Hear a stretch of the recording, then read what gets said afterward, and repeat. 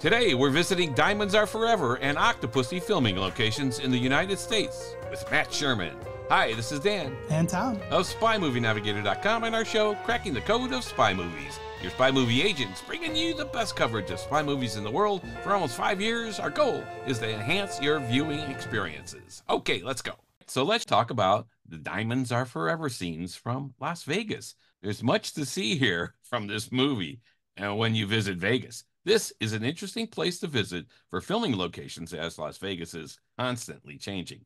Aside from a few of the locations, especially on the Las Vegas Strip, buildings have been replaced. All right, yeah, Dan. In fact, one key building that James Bond stayed in, the Tropicana Hotel, is going to be demolished to put in a baseball stadium. And once this is gone, most of the old school Las Vegas Strip hotels are going to be gone. Anyways, the news about this made me realize we never did an episode on the filming locations in Las Vegas. I took Matt Sherman's excellent tour, the all time high tour, in 2021. And he took us to Las Vegas for these Diamonds Are Forever locations. And we also went to Utah to see some of the places they filmed Octopussy. Hey, that's terrific, Tom.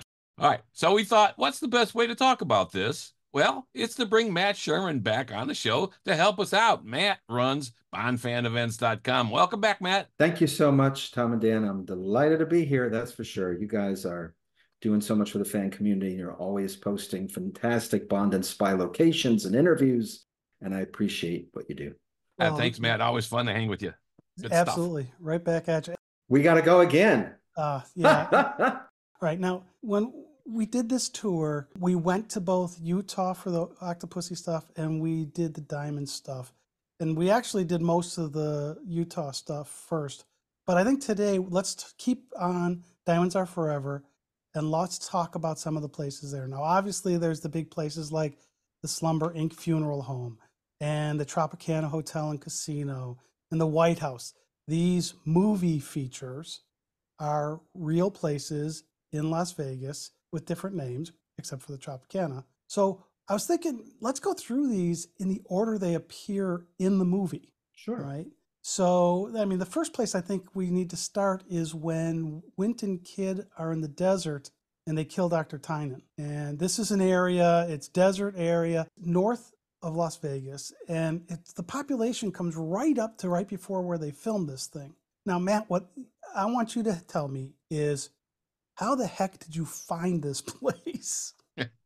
I, in anticipation of talking with you guys today, I was thinking about Las Vegas and realized I'd been there multiple times and on six different occasions to go to Bond locations.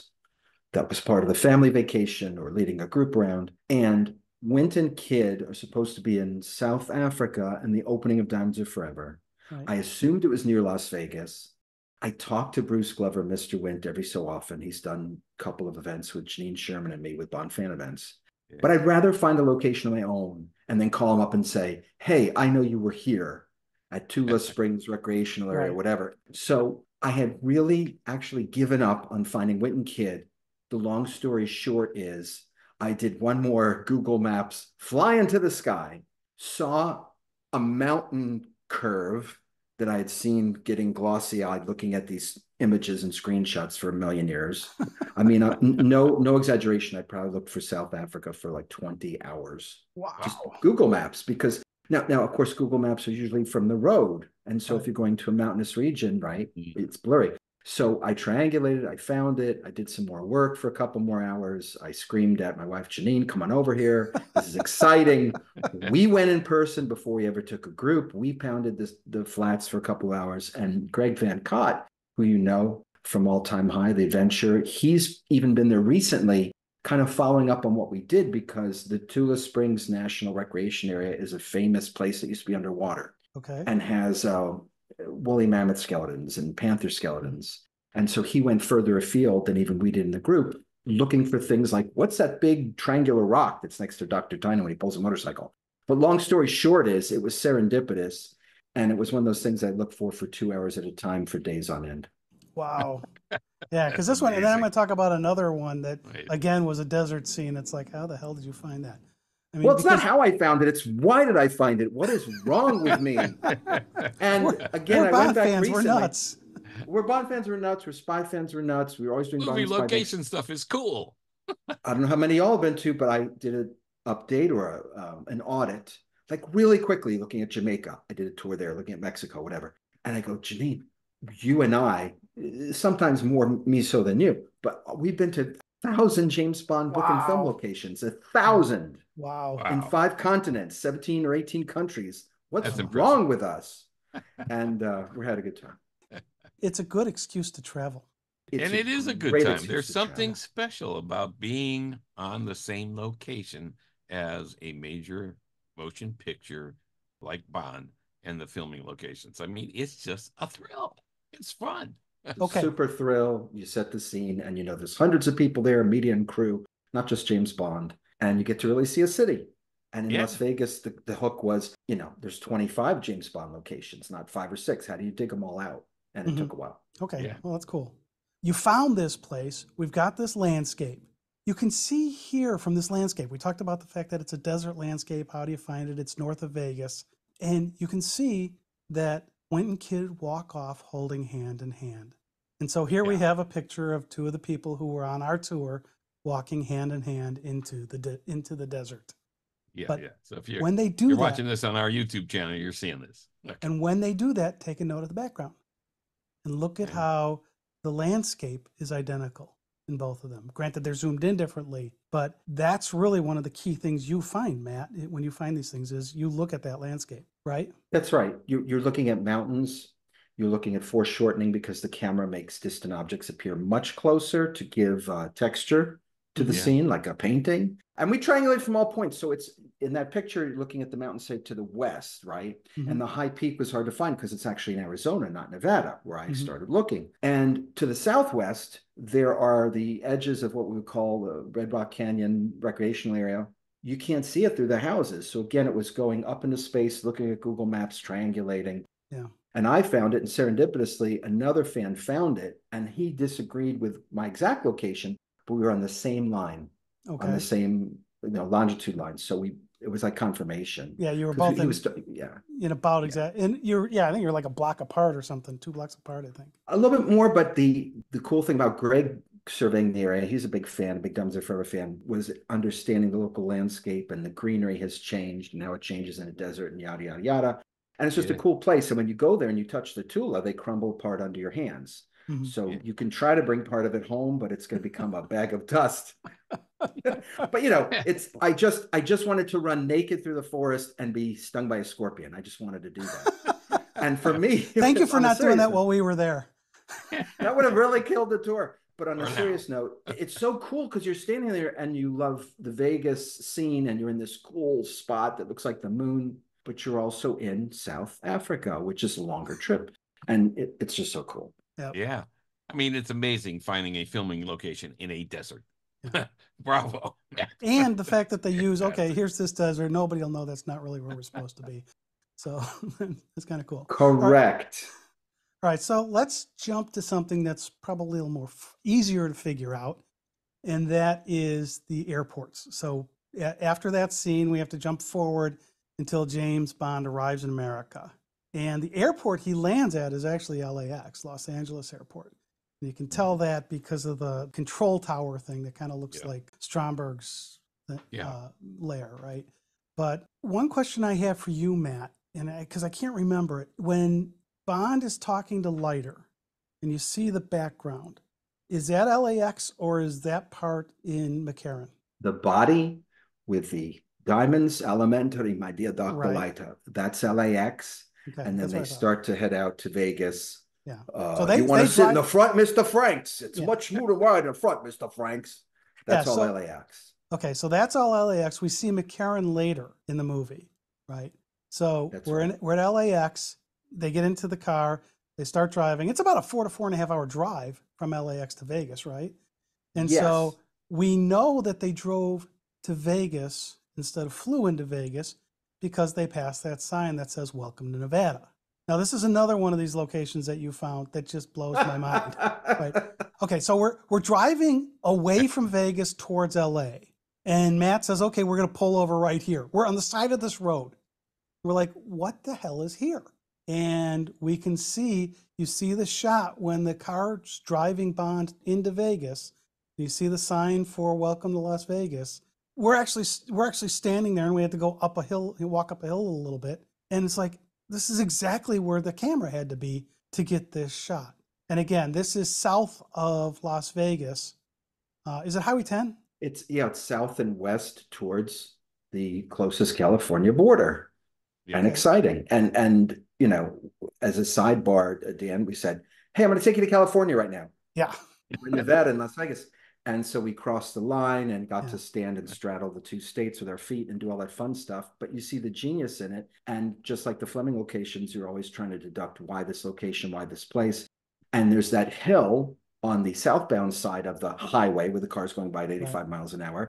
And that's where the camera would have made a great placement. There's no helicopter. So when they shoot down to the sign, Welcome to Nevada, and they shoot down to Bond's hearse, they are on a hill. And it was very convenient and it worked out perfectly. And then me being me and you being you, I, I, go stand 10 feet over here now five feet over here now two feet over here because you want the telephone poles and the mountains to line up because yeah. if you're going to go all the way to a dangerous highway yeah. the traffic you have to stand exactly where the camera was. I'm yeah. with you on that man. I'm with Absolutely. you on that. I love Absolutely. that we want to be on the spot.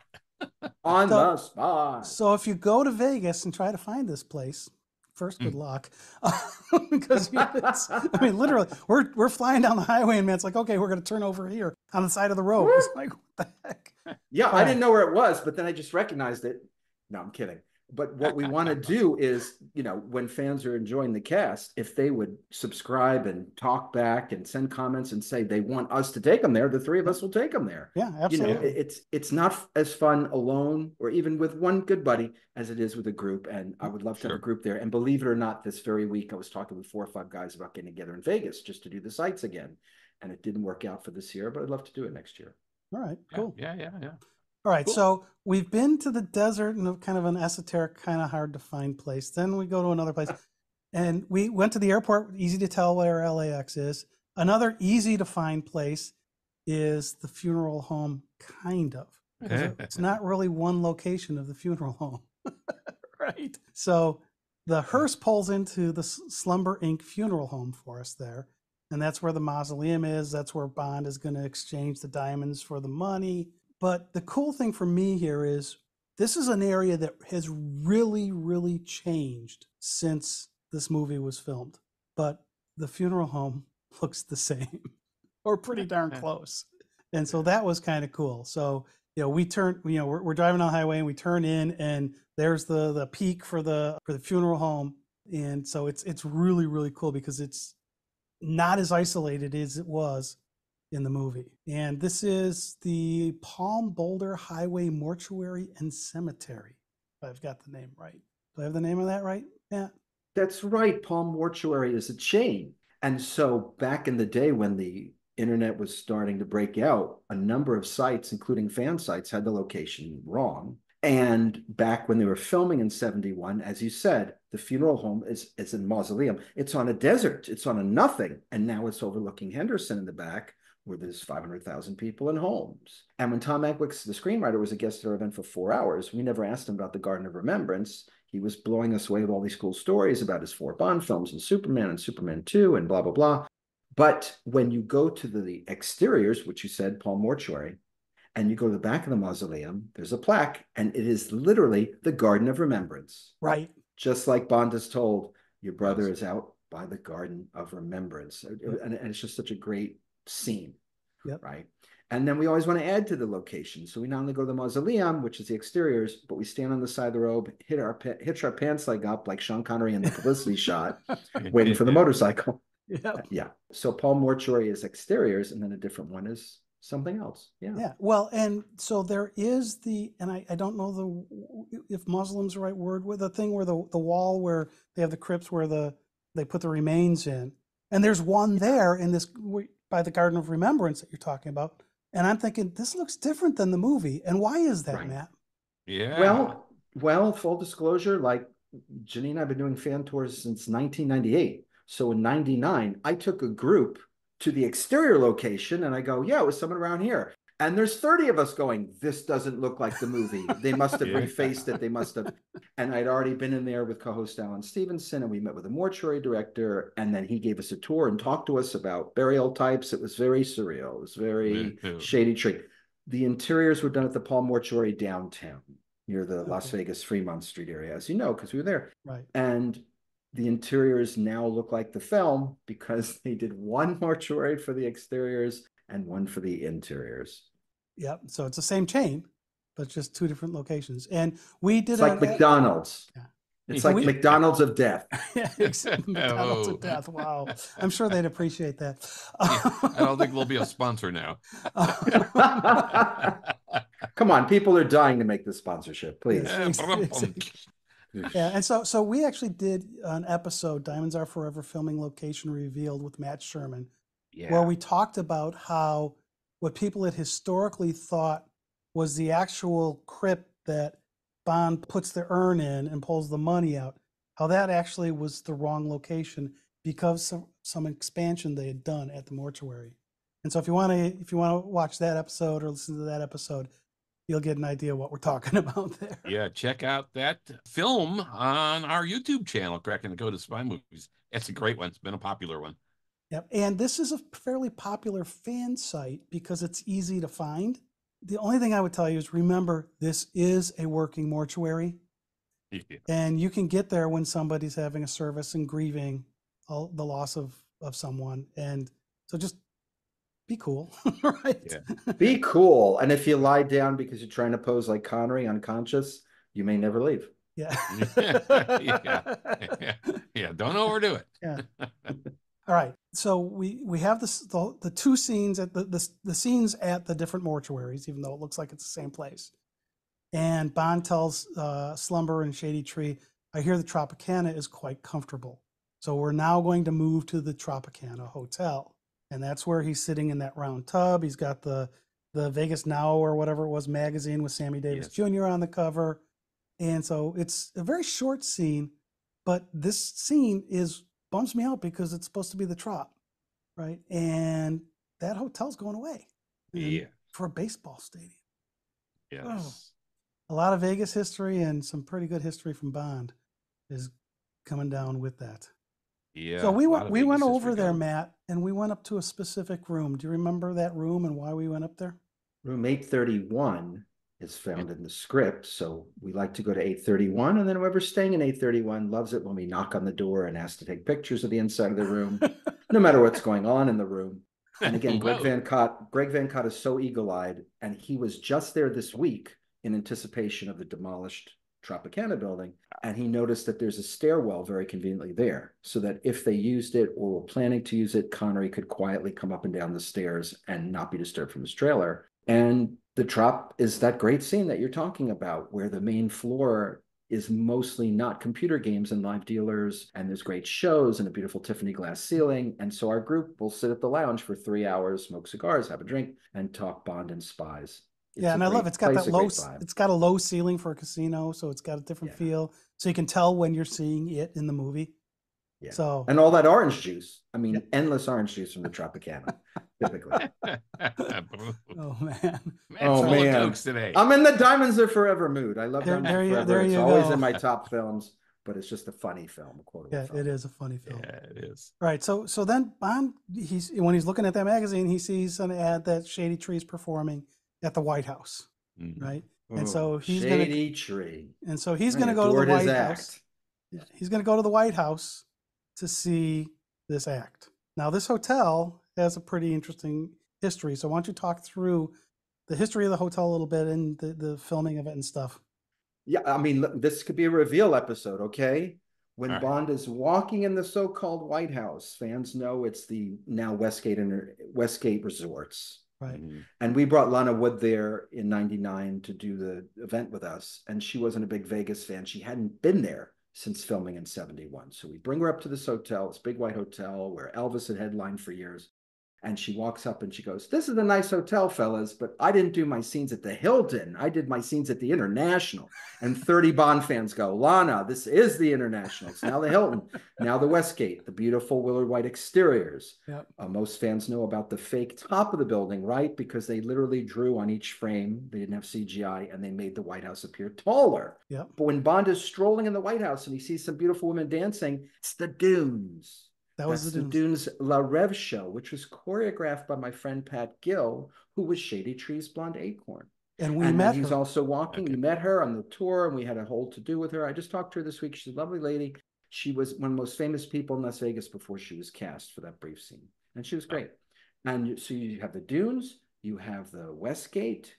He's now in the Riviera, and then when he's playing craps with Plenty O'Toole, they're at the Riviera, and then she gets thrown out the window of the Westgate. She flies through the air past another hotel and lands in the third hotel swimming pool. For that, you're gonna have to tour with me because it took me like 20 years to figure this stuff out. But Lana Wood was told it took me 20 years to figure out some of these things that they're walking by the dunes and they're playing in the Riviera. And she goes out the window of the Westgate and flies past another hotel, lands in the third pool, as you know from the tour.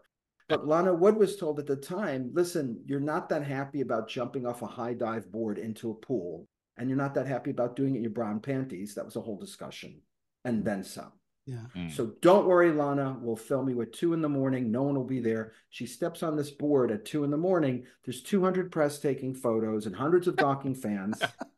And so a stunt woman goes out one window of the actual Westgate. If you look at the windows very closely on the screen, it's the Westgate. And then she lands in another pool elsewhere in Vegas. And then we're hoping to find her body sometime because when she drowns, that's uh, actually Kirk Douglas's former home in um, Palm Springs, Palm Nevada. Springs. Okay. Wow. Yeah, that's right. Where Wow. they go out and we'll talk about that in, in a few minutes, I think. Yeah, yeah, yeah. So you you already mentioned that Pat Gill was one of the acorns, and we got and you had us meet her, which was awesome. It was great to have dinner with her. Now we also had a guy on the tour who booked a particular room at the Westgate for us to go ahead and uh, take a look at. So you want to talk a little bit about that? Yeah, Scott and Ken are fans who are Scott Rozankovich is perennially at these events and he's just into the max and he loves it. He's a great fan, a great sweet guy. And he made sure not just to stay at the Westgate on a high floor, like Elvis would stay Mhm. in residence. I mean, he was right there in the middle of, the, of that arc building.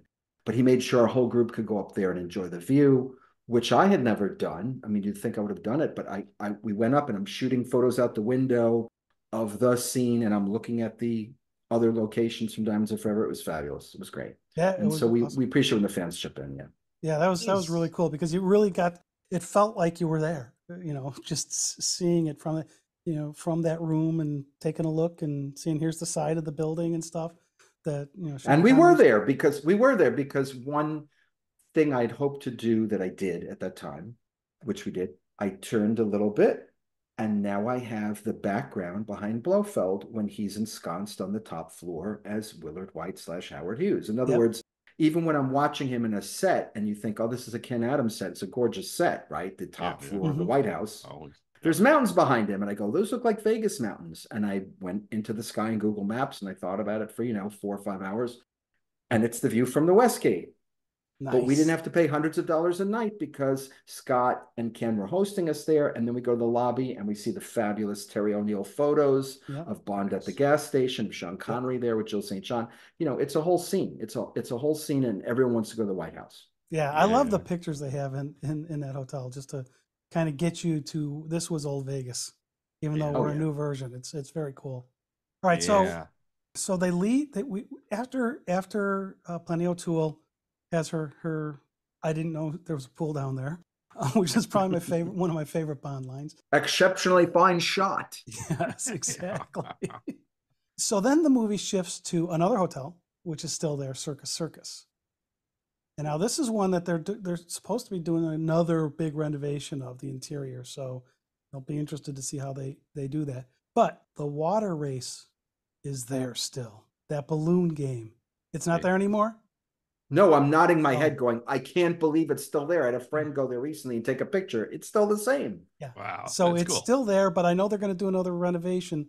So who knows? But that whole scene that you have with Tiffany and the kid, uh, is it was it Brian Dugan? Was that his name?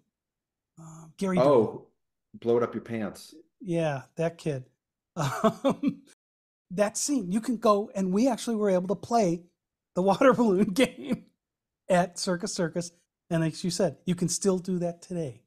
Yeah, so if you cool. want to kind of immerse yourself and kind of play act Yeah. at something that was really done in the movie, it's there.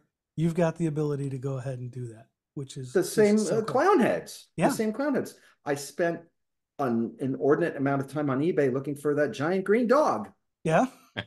because that would have been great on the shelf, right? And Yeah. after the first four or five hundred green dogs on eBay, the second time of that, I gave up. But the the clown heads and the guns, everything's the same. And so you have these groups over the years that go, and everyone's staying like this with a water pistol, and it's so much fun. It Yeah, is. yeah. and and it's the it's the reach and the arc of Bond. If you remember the call in the in the show, ladies and gentlemen, the flying Palacios. Yep. The Barker on the floor, who was a real position, a real person for decades, because they would do this show all the time and Mhm. still did until recent years, was Jay Sarno, who had founded Circus Circus and said, if you're filming in my casino, I'll be in the film. He's the Barker. Hmm. But that same Barker's job was held by other famous people through the years, but the Flying Palacios would go all over the world for two decades after. And everywhere people go, we know the Flying Palacios. They'd be in Poland doing a show. They go, how do you know us? They go, Diamonds Are Forever, Diamonds Are Forever. I'm serious. It's Yeah. the reach of this Yeah. franchise. Yep. Absolutely. So we had a great time with the water balloons. And I think, Tom, you shot your gun on my clothes, right? I was wearing silk I think I had might have, my yeah. tie. Yeah, I think I might like have. Yeah, I that sounds like something I would do. Yeah, it'd be something I would do.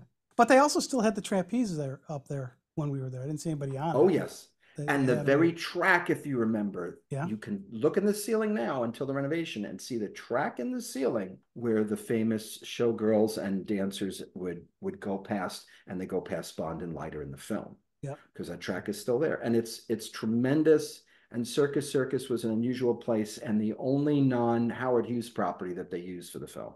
Yeah. Well, it was it's really cool and it's still there. It's just Yeah. it's amazing That's uh, it's the- still there. The cool part that it's still there. but it is. Yeah, yeah, yeah. All right. So then you you alluded to this. Plenty O'Toole gets thrown into the pool, and magically she's in the pool, and it's really in California. And so yeah, all over um, the place. Long have- trial. So you have that house there, and you said that well, it was Kirk Douglas's house, right? And then Kirk Douglas's house. and then you've got the Elrod house, which is what was supposed that that thing with all the turns in it. That was where we met Thumper and Bambi, and that house is under big reconstruction again, and you just can't get into it right now. You're you're not going to get into that house. So going there is probably not a good side a side trip. I think a Yeah, better yeah, side we- trip is what we did up in Utah because first it's closer I think and so. Yeah. everything's open because it's outside. We Yeah. nice, uh, nice chat with Trina Parks, uh, who played Thumper. She was fun. yep, Great, she was great, fun. great to talk to. Great lady. Yeah, that was a great chat. That was a great chat. Yeah, the Elrod House is a gated community, Yeah. and sometimes it would rent out for film and television, but it would, the rental was like eight thousand a night. And I said, instead, let's go to Utah, see thirteen Octopussy locations Yeah. instead of two. Yeah, Yeah, that, that was a better idea. good. I'm glad you liked it. yeah, I did. Well, plus for me, I live in Chicago and everything's flat. When you're in downtown Right. Vegas, everything's flat. So when you get out of downtown Vegas and the strip, that things stop getting flat. So that was that was really cool. It was awesome. I'm here in uh, hilly downtown Florida. I'm at an elevation of a hundred feet of sea level. yeah. Oh, wow. and, and if you go a mile, it's still 100 feet above sea level. yep. Yep. Exactly.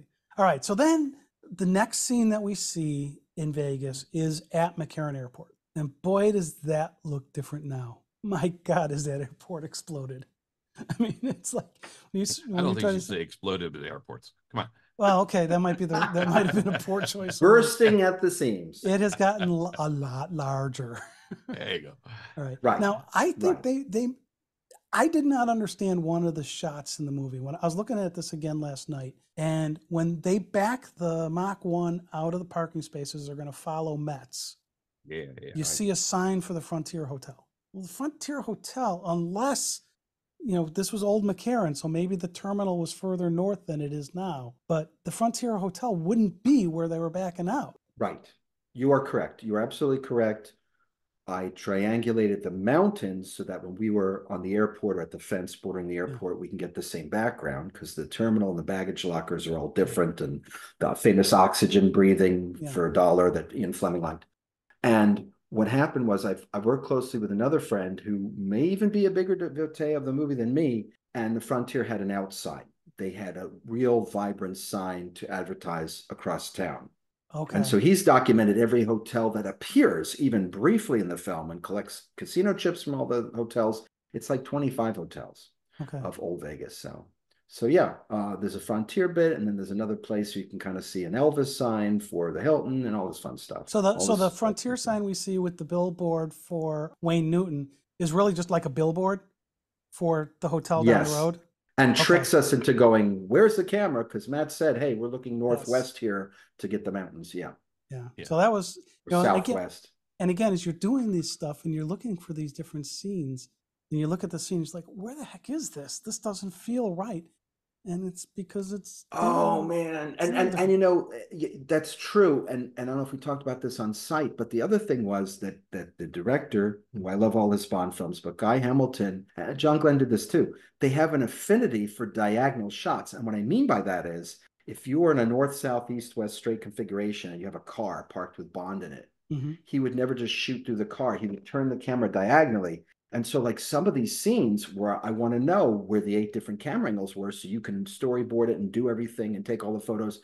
It takes like three hours to work out. I know that sounds silly, but I'm sitting here like, uh, that hotel was the Stardust. I was there before they demolished it, but what's that hotel? And then they spend an hour on the internet trying to figure out what that hotel was from that little Yeah. green logo. And and you work at all these shots, and they would turn the cameras diagonally and and and and make turns look interesting and car chase look interesting while reutilizing the same street over and over again. Yeah. So sometimes you and I, or the three of us rather, we catch Eon and we know that there's a scene filmed this way, like Dr. No, they're playing bridge. And if you literally spin the camera around, you get another Dr. No scene that you would have never known was there because Yeah, we're gonna the t- we're we're gonna talk about that with Octopussy. Yeah, yeah. Cool. It's the same with the with the Mach One chase Yeah. down the main strip, right? They kept using the same kind of footage over and over again in the same. I put my story, I put my story butt up here for you, but it would break the internet because I counted up, I was lettering things A through, and it was almost Z. There's 22 different turns they do in this two Yeah. block area. They spin out. And you're like, if Bond's trying to get away, why does he U-turn and go down the same street again? Ha ha ha. It's But a that's a that's a that, great story. That's a great storyboard. And by the way, the Mach. One, the car used in the stuff we're talking about here, is owned by the Ian Fleming Foundation, and they're restoring it right now. And Tom and I got to see that car in person, and it's fantastic. The Ian Fleming Foundation does a terrific job with finding movie used props and materials from the Bond movies, restoring them and loaning them out. When Tom and I were there, we were invited once for their work weekend, and they were working on, yeah, a 22 foot section of the Goldfinger plane. oh my God. Very cool. After they leave the airport, and we have this issue with the Frontier sign, Yeah, they stop off at a Shell gas station because Dr. Metz needs to get some gas. right. They're following him. And this is another thing that has changed, but it's still a gas station. It's just an Arco now and not the Shell. And it's conveniently right across from the Whyte House or the Westgate now. And so you can go there and if you're if you're sitting there on Elvis Presley Drive, that gas station's right there and you can see the same shot and same view that they had in the movie from the Arco station now. Right? Did they, had, did they change the building at all? Yeah, the the building, the what we call the grocery convenience store is the same. The difference is the alley that they do the quick switch in. And the question is, why does Dr. Metz have to stop there for gas? The man's full of gas. He's full of hot air. But they they do this thing there, and it's just so surreal, right? To be there, Tom, with 12 or 15 people, and they're all like, Hey Curly, what about my stamps? and then the gas station attendant is just looking at you like, What planet are you from? Yeah, Like, what are you exactly. And, then the other thing too is now this is a cute story, but you know, Gary and Steve Oxenrider, these dear fellows, they mm-hmm. run into the convenience store, which they would always do. And they start telling the convenience store manager, Hey, did you know Are Forever was filmed with Sean Connery starring director Guy Hamilton, 1971, mm. blah, blah, blah, blah. And we're like, we gotta go. We have a timed appointment. We have to go mm-hmm. somewhere. And they love to tell people, hey, your Kentucky fried chicken was used in Yep. Goldfinger. Like they never know. They never know that the thousands of people who stop at Arco to get gas can get stamps. there you go. Yeah, he used to he used to do stamps. All right. So so then Metz drives up into the desert to Techtronics. And Yeah. this is just an amazing area. And again, it's another where it's like, how did you find that ridge in the desert where this chase is going? So you drive up there, and the building there's there's a building, isn't that the Pabco Gypsum building? Is that where that is? Yeah. So you, you go up there, and so you can see the structure that's in the movie. But then when he does the buggy chase, you're just out in desert. You know, he leaves the he leaves the moon, if you will, the the set for the moon, goes through, crashes through with the moon buggy, and he's just driving around in the desert being chased. And you took us to some spots in that desert that the ridges and even at the low level, the you know, not the stuff way in the back, but the stuff really close to us. It's like that's where this had to be. And again, that had to take you forever to find. It takes forever just to call the screenshots. So Okay. we're talking about like seven stops on the way to Pabco Gypsum. Right. And the first time we took a group or considered it, we had identified a gypsum plant, and I told people, "Hey, we're going to wear hard hats and we're going to get gypsum samples." And then a week before the event, I was looking again, and again, this is very early on the advent of the internet. I go, "This is the wrong place," and I had to tell the gypsum plant, "You're the wrong gypsum plant," because that was incorrect on the web. It's Pabco Gypsum, which is closed to the public. But there's like seven stops, and I have to tell you, the seventh stop, which is where the car stops, and basically Joe St. John is waiting for Sean Connery. I have something like 42 screenshots, and they all in my computer say southwest, northwest, north, northeast. So you can stand in a circle because at home I have one shot for every screenshot, right? Right. And then Nate Sears, who's wonderful and helps us with all these locations, he tracked down a lot of the buggy where he thought it was. And then when we went there, as you know, we were pulling out pieces of paper and Mhm. looking at it and screen matching it. So yeah, there's at least like 80 screenshots you can get in this beautiful desert, and you can take a rock sample home. And then I hope you finally remember that we're the only group that ever went inside Pabco Gypsum. Yes. Yes. Ah, Yes. That was a Very story, cool. right? Yes. Yep. Yeah, we we we did some crazy stuff. We we have fans standing holding a long sheet, Dan, of metal, of scrap metal, Yeah. because they were dismantling the famous dome that's in the Yeah. background of the buggy chase. Yep. And we, I mean, this was a big thing for me. This is like my, you know, sixth tour group, whatever. And we were able to make the schedules work and they were very gracious to us. But we went to, you know, uh, That's a shed, a shed, a van, a, a, a, a large carport.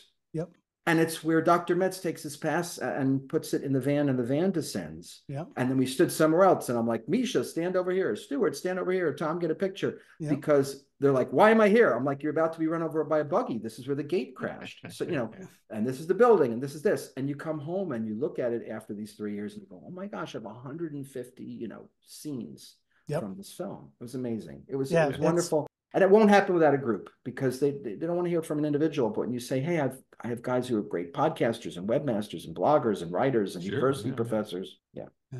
Very Right cool. now, another thing that happens there happen it actually happens later in the movie, but they filmed it there is when Bond comes out of that pipe and he's resplendent, looking at his tuxedo, and he's just Mm. I was just out walking my rat. I seem to have lost my way. That's in that same area. I, yeah, I have my hand on my forehead. Yeah. Because that was a rough one, man. That was Yeah. rough. Well, I it's like it's just a spot of dirt. and try to figure out just that little spot of dirt where that thing came out of. Sure. I was looking for Wint and Kidd for the umpteenth time, unwilling to ask Bruce Glover, who's always like, Matt, how are you doing? What's going on?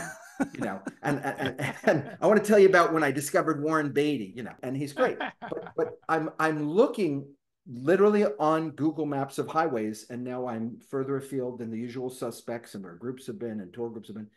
And I'm screaming, Janine, come over here. And she comes over to the laptop where I'm talking to you now. And I go, You see that little green lump in the background over there? I was looking for Wint and Kidd. That's the green lump from the pipe scene when they bury him in the pipe. And long story short is I have friends and I'm like, You stand there. Nope, two feet more this way, three feet mm-hmm. more this way.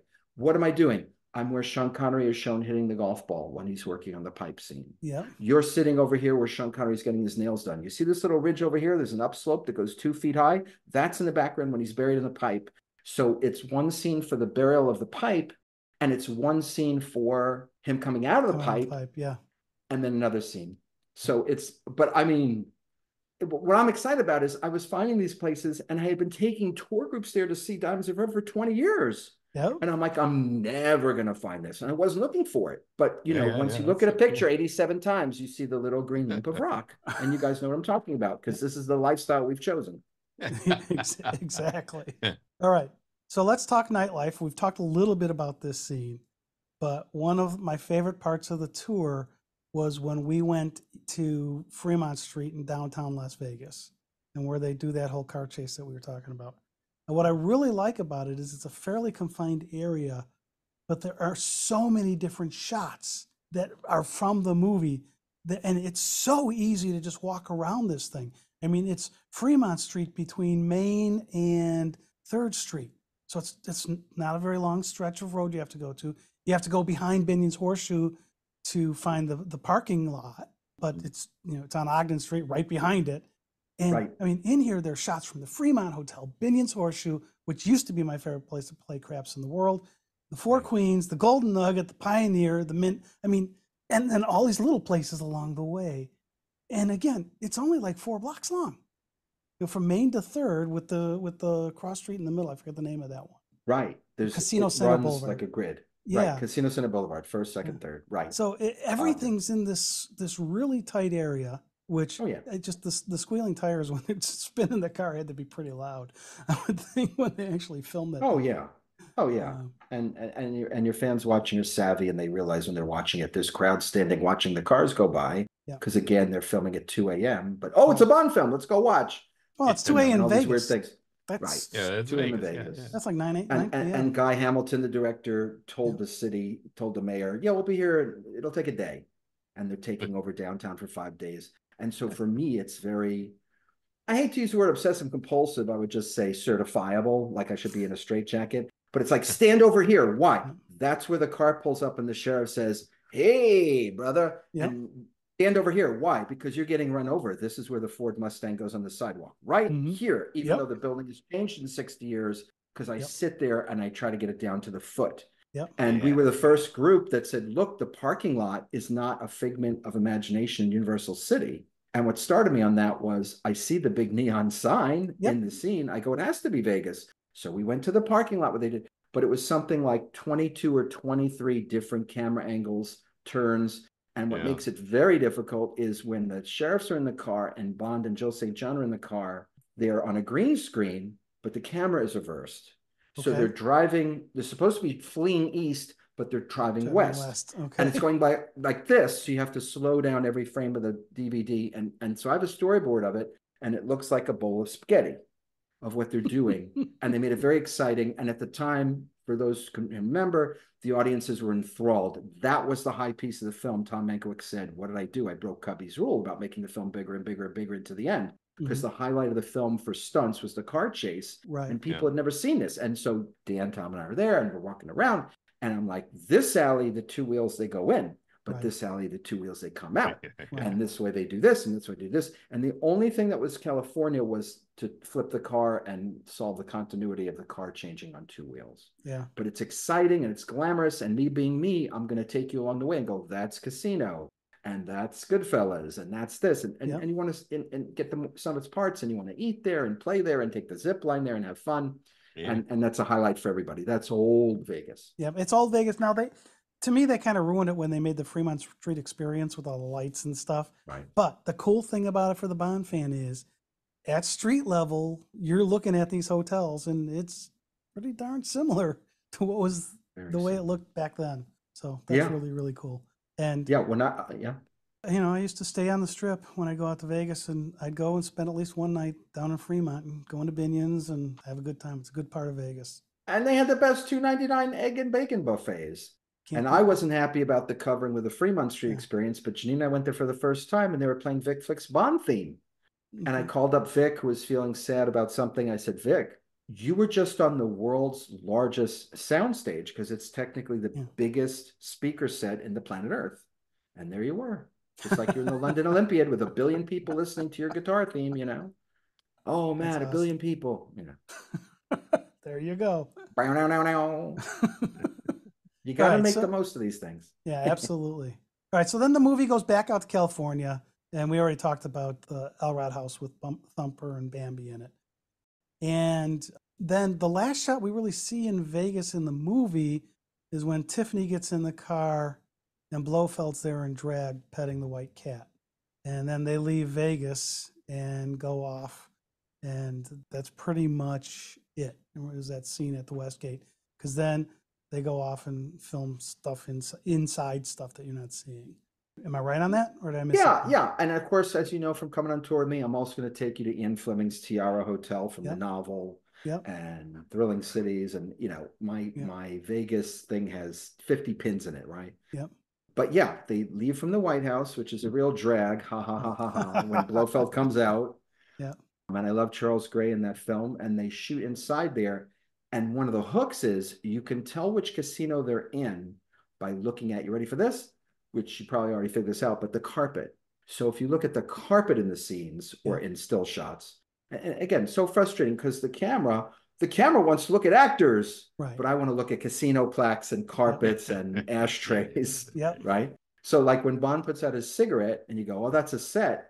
That's so funny because on his lap, when Jill St. John puts out the cigarette, it's clearly a green 1971 Tropicana ashtray. because you can get them on eBay. So, you know, is it the Tropicana? Isn't it? It's part of the part of the mythos, part of the fun, right? Yep. But Diamonds is a great film because you can go to most of it. And yep. there's still people on the web saying, well, long story short is I have friends who think they they were doing the mine scenes where they're mining in South mm-hmm. Africa, also in Vegas in the tunnels. But there are something like eight or 10 miles of tunnels in the area that you can go to near Hoover Dam, near Boulder Dam. Mm-hmm. So it's going to take a while. Yeah. Well, you'll get there. We'll find it. All right. So we didn't go to California. We went the other way and went up to Utah. Right. And I had no idea that they had done any Octopussy filming there, and because I hadn't I hadn't really gotten into Octopussy at that point. And uh, this is just some of the most beautiful country, and it's also where we find in the movie the gas station that that Roger Moore pulls up into. He's he's in that Acro, what is it Acrostar BD five J with the wings up, and he says, fill her up. Now, that location technically exists. Roger Moore wasn't there, but I'm going to tell you it's in Santa Clara, Utah. I'm not going to tell you where. Yeah, This one took some great sleuthing to figure out. Right? I think Nate helped you with this one, right?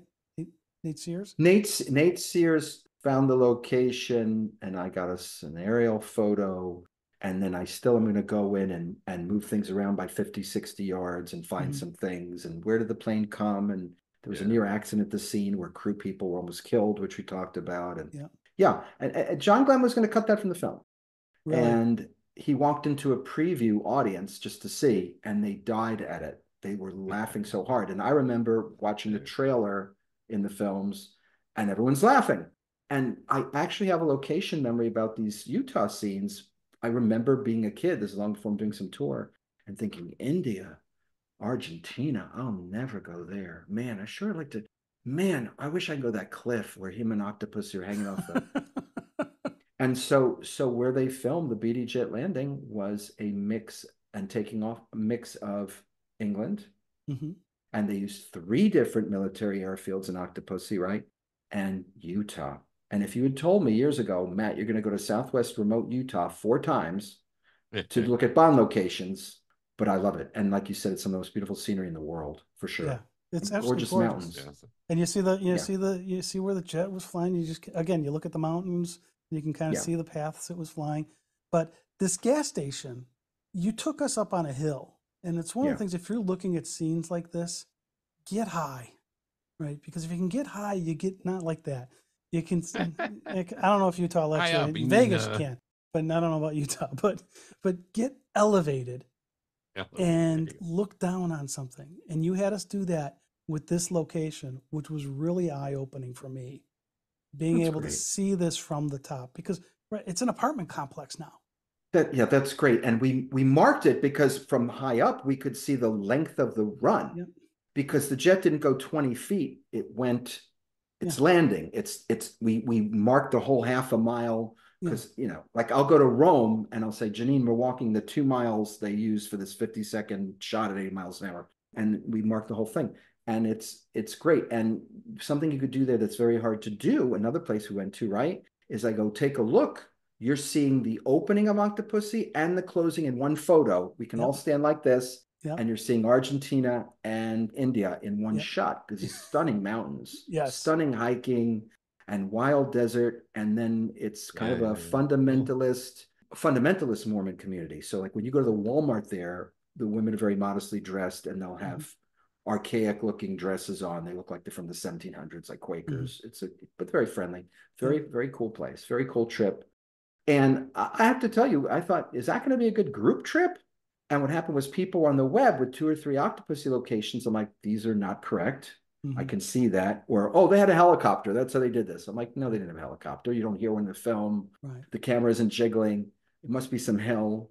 And then it was several trips like with Janine, where we spent a whole day and we spent like three hours looking for one camera scene for two seconds in the film. And then, to, and after a while, I said to Janine, this is amazing. She goes, what? I go, I found all 13 locations from the 13 Eonth film. So we're going to go see 13 Octopussy locations. Nice. One of them is pretty easy to find, and that's Sure. the bridge that they fly the jet under. Right. So there's Right. all these different scenes of the jet there, Yeah. and it's the Hurricane Laverkin Bridge, and you took us there, and you could you could kind of hike around this thing, and you could kind of you guys were kind of like hanging on to it a little bit, and you know going down Yes. right alongside of it, and I'm like, yeah, I'm not doing that. I don't have that kind of coordination. but if you want to, and you have that kind of skill, go for it. There's nothing better than being with a Bond friend under the Hurricane Laverkin Bridge. And you know, as a kid watching the film, it looks like a thousand foot high gorge, and it's not. Wow. But I don't know if I should say this on the cast, but we want to do a reveal, right? So the first time I'm there is because we're taking the kids to Zion National Park, which is mm-hmm. stunning for miles of hiking. And I'm looking at MapQuest or whatever, and I, I see we're going through Hurricane Utah. And I'm like, Hurricane Utah? Why is that something going on? Why is Hurricane Utah? Oh, it's in the IMDb credits for Octopussy. Oh, that's the bridge. Hey, kids, we're going to stop by the bridge. And let's just say that one of my two children, either my son or my daughter, said, Dad, I really need to go. And I said, Well, we'll take a couple pictures and we'll go. He goes, No, no, I really need to go. so we went. And then, because we were in Utah and Las Vegas doing hiking, I think we urinated at four different James Bond locations, which is something I am proud of. But several times I've gone with people under the bridge, meaning what, what Thomas is saying, we're hanging under like a trestle and we're hanging over the gorge underneath the bridge where the plane flew. And then we also got on high and saw the whole, whole gorge from above. We also hiked in the gorge in like 112 degree weather. It was awesome. You got to do it. You got to go to Utah to catch these five minutes of Octopussy. It's Yeah, amazing. We spent absolutely. three days to, to understand all the camera and work from five minutes of the films. Yeah, Yeah, you, right, you, you talk about hanging from the trestle. Here in Chicago, at the Museum of Science and Industry, they've got a, a 007 science exhibit they just opened up. And one of the exhibits that you can do is they've got a beam that you can hang on, and there's a there's a, a little button you hit that does a countdown counter because Bond is hanging from from with his fingertips seconds, on this thing, and I think I got half a second. Dan, you got about a second or two, right? Janine does CrossFit. She whipped everybody in DC. Oh. She's standing there hanging. Yeah. And so I'm like, I'm walking away now. I'm going to go lead the rest of the tour. We have more Bond stuff to see. I'll leave you there. We'll catch you back in a couple hours, right? Like, Yeah. how come how come Danny Craig does that? Like James Bond can't do like one pull up, right? In Yeah. Skyfall because he's on barbiturates and cocaine and alcohol. Yeah. And then later on, he's like, I'll take the lift to the 95th floor. I'll yeah, just no problem. He's No James problem. Bond. Yes, exactly. Well, the, the other thing in the, er, by this bridge that I really think is cool is I would spend a lot of time there because if you go across the street from the bridge, there's a new a new housing development going in, and there's there's a beautiful overlook. And if you can stand there and look at the bridge and then turn left, you can totally imagine seeing that jet flying over to come in and go under the bridge. It's just, it is so oh, beautiful and it's such an expansive area, especially if you can get on a bluff to the other side of the bridge. It is Right. just so cool to see all of that. Right. I'm, I'm so I'm I'm can I say I know I'm commenting on everything you say, but can I say I'm gratified to hear that because I spend hours going, how can I get to that overlook? Yeah. Or hours going, I see four trails, but they seem to run out, and I'm reading trail guides and tra- how can I get us under the thing? And one of the reasons to go there was because the plane goes very fast in like a U shape, and then when you're at the gorge, you go, oh. because fans will come, take a picture of the bridge and leave. We go under the bridge, over the bridge. Yep. And when you turn around in a 360 on this bluff that you're talking about, it's like being in the Lord of the Rings. Yeah. And you can look back towards where we were the day before at other Bond sites, and you can look back towards Purple Mountains and Black Peaks and Orange Mountains, and you turn in a 360 view, and then you're looking down a couple hundred feet onto the James Bond airplane gorge. It's unreal. It's so beautiful. It's Yep. just worth the trip. Yeah, it was All great. right. Yeah. And now a little north of there, I'm not going to say where, there's this road. Canada. Yeah, it's Canada. It's the road that James Bond pulls out of the horse, the the um, the carriage that had the horse tail on the back of it, and takes off in the jet. And then later, when he lands the jet before he goes to fill it up, it's the same road, and they use that trick you talked about where the camera's pointing one way when he takes off. They turn the camera around, looks like you're in a totally different spot, and it's literally the same stretch of asphalt that they're going over. Exactly. Exa- spinning round. Exactly. Yeah. So I have a what do you call it? Oh yeah, job. But um somehow I managed to cram in over the years 15 hours to diagram that scene. And I just I, if there's two seconds of film or a deleted scene, I want to know. And a lot of people go, that's England, that's England, that's it's not, it's Utah. Mhm. And so when we were there, if you ever go back, I would love to go back. We went to three or four different sites Yep. and we proved, and you all agreed, we looked at it. This is where the camera was. Look, there's a convenient road here. This is where the Jeep comes. And then we walked to the hill where they took the Jeep and turned it over on two wheels Yep. because that was all natural landscape that they weren't used. Yep. And so, and then we went another, you know, two miles, Yep. parked somewhere very dangerous because the van we were in had a was warm from driving around and we were on dry grass and the owner of the Mhm. house comes out and he goes i don't mind you being here as a bond fan but you're going to set the place on fire that was an eye-opener Yeah. and then we you know ducked down because here's where the plane goes over the guards and the BD jet was going 10 feet over their heads Yeah. So they did a lot more in utah than people realize and that's kind of like a fun thing like people go oh there's two three locations there. No no no there's at least 13 locations yeah. with many different camera angles.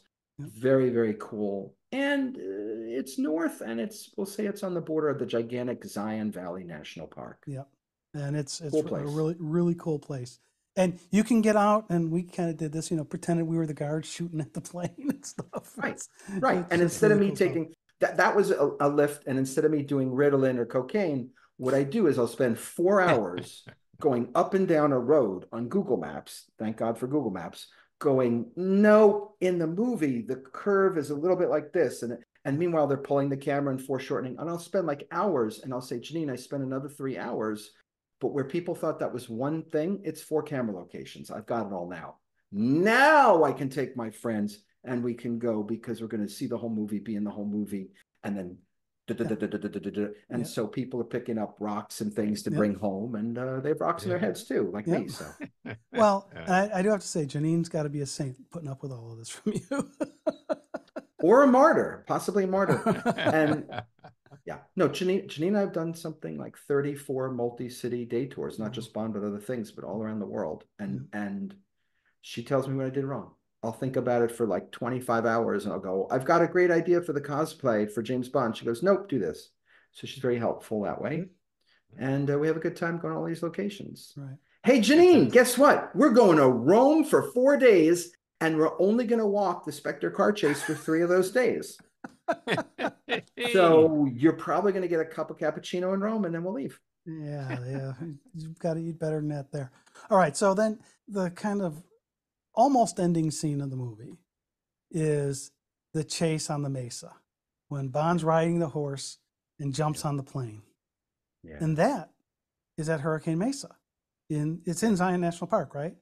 Or is it right adjacent to it? It's somewhat close, and Okay. it's on a restricted space that's used for private testing for military jets and ejector seats and all kinds of Bond stuff. Yeah, we were climbing through ro- through fences and stuff. I it was like we probably shouldn't have been there, but it was good to see.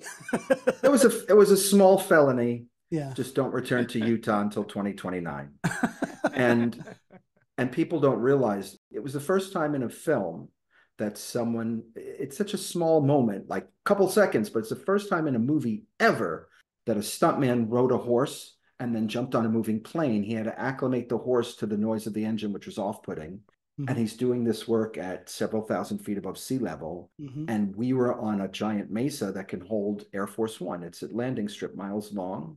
Yeah. And so we went where Kamal touches down and crashes, and where his plane blows up, and where they're hanging off the cliff, and where the X marks the spot. And because we had so geolocated it, right?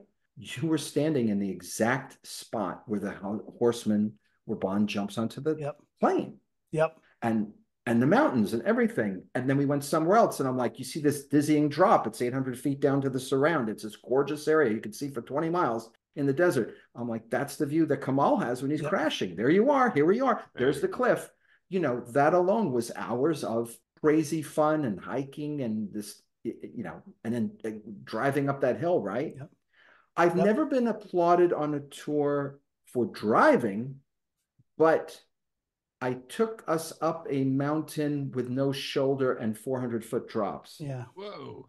And the road was not big enough for the vehicle we had. So I, I drove up honking the horn all the way. And when I got to the top, they applauded, I think, out of being alive. Relief. So relief. We made it. Phew. Yeah, we made it. But and- and you couldn't do that with a 50 passenger bus like on these bigger tours. This is more of a hey, we're gonna hike, we're gonna be in the desert, it's gonna be awesome, it's gonna be different. Yeah. But when we got to the view, everyone's like, that was worth it. Yep. I mean, the stunning view that you would want to see anyway. hmm And I'm like, that's where the Cool. missile went, and that's where the plane went, and that's where Well, James that, that was it. I mean, what so you, get up there and it, in a fairly short area, you know, not too far apart, is all of these really. I mean, you know, the rock that they're hanging from, you know, with the the, Oh yeah. you know, it's like, okay, uh, yeah, I'm not doing that.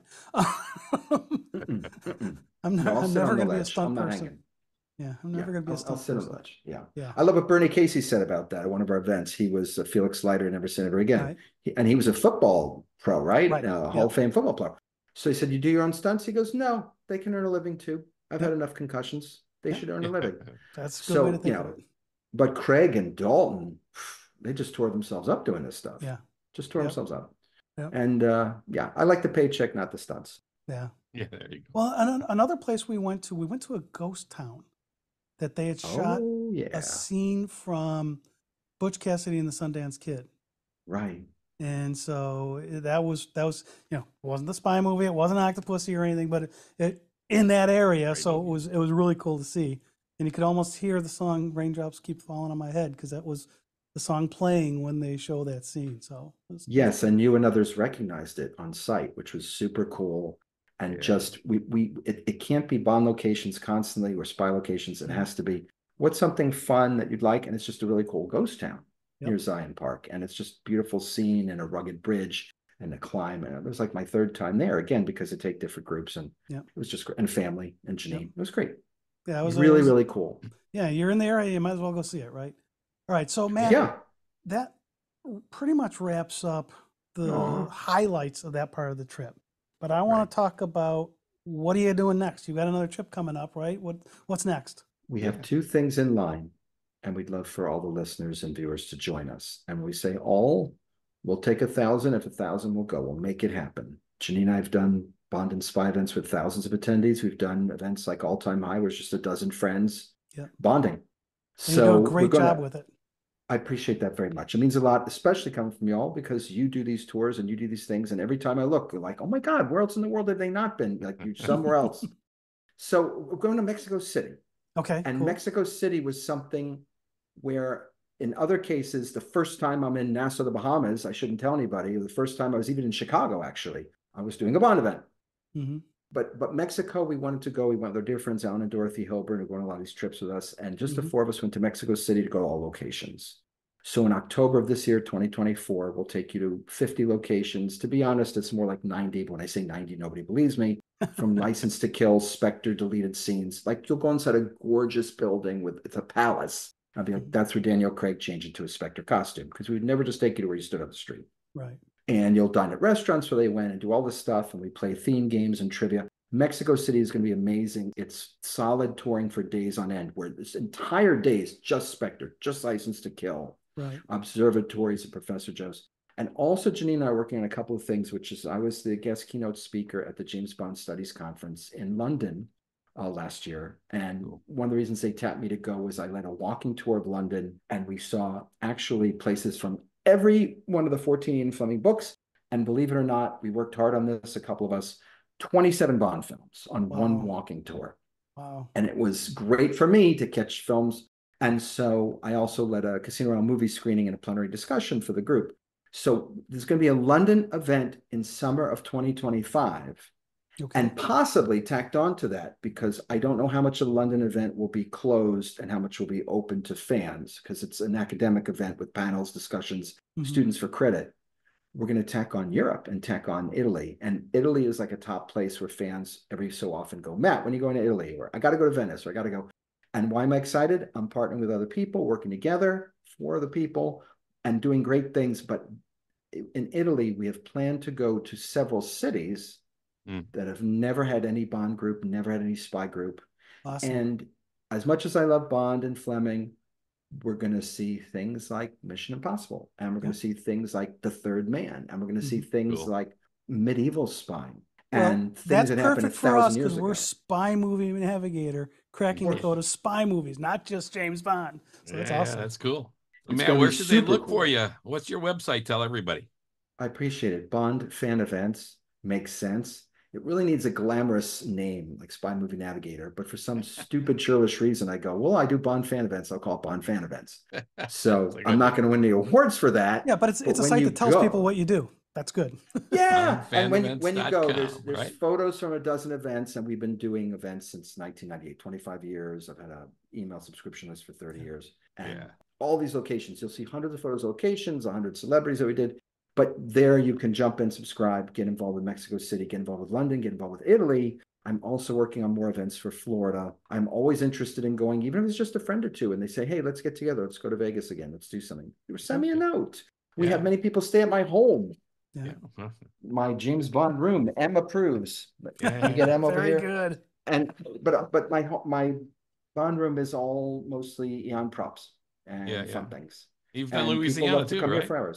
For hours. Live and let die stuff in Louisiana. You've done too, right? Oh my gosh. Yeah, yeah, yeah. Uh, cool New stuff. Orleans, New York, Chicago, Yeah. San Francisco, Las Vegas, Los Yeah, yeah. Angeles, Jamaica, Bahamas, Mexico City, Rome. That's the guy. cetera. Oh yeah. No, That's we why love it. we have love you it. on. Always good to have you, man. Matt. fun. This is fantastic to have Okay, our so again- experts Yeah, on the and, show. and It's again, it's fantastic. bondfanevents.com. Bondfanevents.com. Look for M. That's me, Matt. And we'll have a good time. All right, that's a wrap. Thanks, Matt. It's always great to have the experts like you on our show. More Bond sites visited and more to come. All right. Thanks, Matt. Thank you so much, Matt. Thank you. Thanks to all Yeah. listeners and watchers. Thank you. All right. This has been Dan And Tom. of SpyMovieNavigator.com on our show, Cracking the Code of Spy Movies. Subscribe to our show through your favorite podcast app and to our YouTube channel as well. Lots of fun stuff there. Give us a five star rating too while you're at it. That helps. Thanks for listening. We appreciate you spending time with us.